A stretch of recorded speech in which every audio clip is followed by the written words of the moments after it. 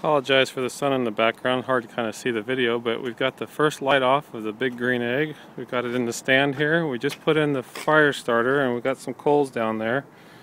And this will take off and come to a roar pretty soon. So we're going to go ahead and maybe position a couple of these little coals right next to the flame so they can take light.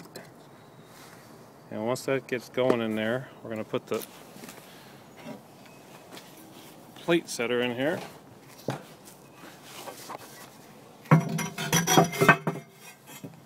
Plate setter gives you a little indirect cooking, indirect heat, convection oven type style.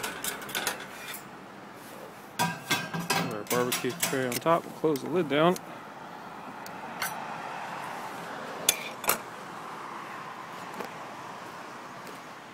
There you go, the big green egg.